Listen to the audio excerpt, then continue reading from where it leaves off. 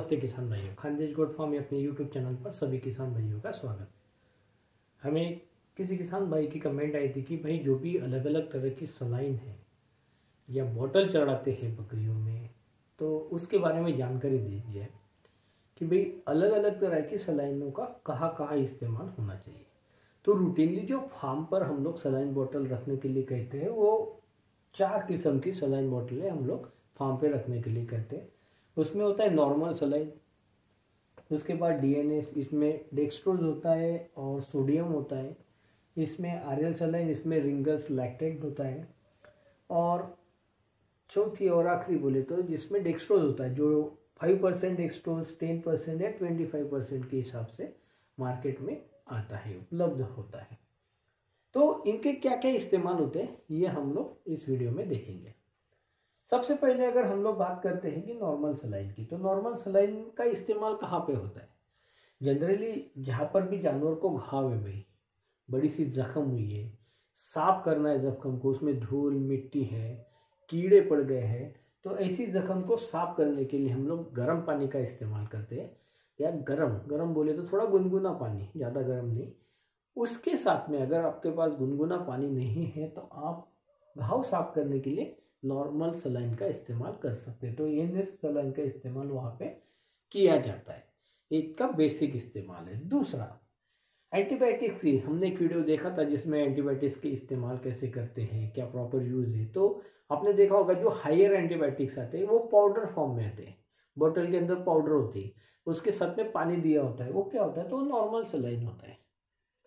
अगर आपके पास जो दवा है जैसे स्ट्रेप्टोपेनिसिलिन की जो दवा मिलती है मार्केट में, उसके साथ में नॉर्मल सलाइन नहीं मिलती। तो आपके पास में जो नॉर्मल सलाइन है, ये इसके अंदर डाल के, इसको पतला करके इस्तेमाल करना है। तो ये दूसरा इस्तेमाल है नॉर्मल सलाइन का। अभी चढ़ाते कौन से जानवरों में? तो जानवर जनरली जो जानवर जल गए हैं, जलने के कारण उनके बॉडी से कुछ मात्रा में या अधिक मात्रा में खून में से पानी बह गया है। आपने देखा होगा कि कोई भी इंसान जल जाता है, जानवर जल जाता है तो बड़े बड़े फोड़े आते हैं और उनको फोड़ो तो क्या निकलता है? पानी। ये कहाँ से निकलता है? तो खून में से बाहर आया होता है।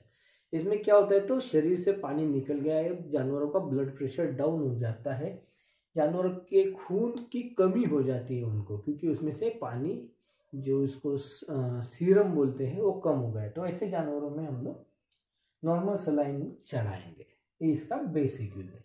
अब डीएनएस डीएनएस में हमने देखा क्या है इसमें? डेक्सट्रोज है और सोडियम है।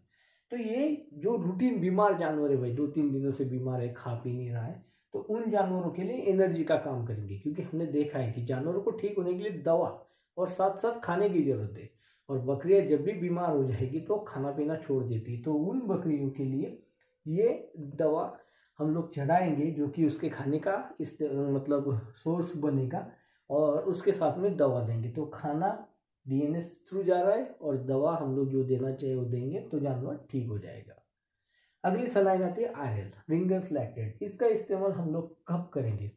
तो जब शरीर से ज़्यादा मात्रा में पानी, खून बह जाता है, जैसे कि डायरिया हो गया जानवरों में, बकरियों में बहुत सारे दस्त लग चुके पतली संडास कर रही है बकरी, और उस दौरान हम लोग रिंगल्स, लैक्टेट की सलाइन उसको चढ़ाएँगे।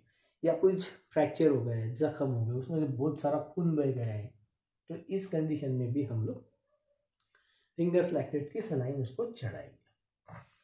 आखिर में आता है डी फाइव डी टेन या डी ट्वेंटी फाइव इसमें से जो भी सलाइन अपने पास है, इसमें क्या है तो भाई फाइव परसेंट एक्सट्रोज है, ज़्यादा कॉन्सेंट्रेट टेन परसेंट है या पच्चीस परसेंट वाली। जो जानवर बहुत दिनों से बीमार है, अभी वो कुछ खा पी नहीं रही। तो क्या हो जाता है, उनकी ब्लड शुगर डाउन हो जाती है। शुगर कम हो जाती है उसके शरीर के अंदर, खून के अंदर। तो जानवर उस कारण ज़्यादा से ज़्यादा कमज़ोर होते जाता है और बीमारी उसके ऊपर हावी होती जाती है। तो ऐसे जानवरों को ठीक करने के लिए हम लोग ये हाई डेक्सट्रोज शुगर वाली सलाइन उसको चढ़ाएँगे। जनरली डी ट्वेंटी आती है डी ट्वेंटी फाइव है, जो ज़्यादा हाईली कॉन्सेंट्रेट ये ज़्यादा बड़े जानवरों में गाय, भैंस, घोड़े में इसका इस्तेमाल होता है। हमारे पास बकरी है, छोटा जानवर है। डी फाइव या डी टेन हम लोग इस्तेमाल करते हैं बकरियों में। तो जो ज़्यादा दिनों से बीमार जानवर है, एक्सट्रीम कमज़ोर हो चुके बहुत कमज़ोर हो चुके बहुत सारे लोग फ़ोन करते हैं, सर, वो बकरी कुछ खा नहीं रही, खड़ी नहीं हो रही। तो हम लोग क्या करें? उसको कौन सी दवाई दें? हम लोग ये एंटीबायोटिक दे रहे वो इंजेक्शन लगवा रहे इंजेक्शन से तो ठीक होने ही वाली है, पर कब ठीक होगी? जब उसको कुछ एनर्जी मिलेगी, जो भी दवा दे रहे हैं उसके ऊपर अच्छे से काम करने के लिए जानवर भी उसको उस तरह से एनर्जेटिक होगा तो ही जानवर ठीक होगा। तो हम लोग ये सलाइन उसको चढ़ाएँगे।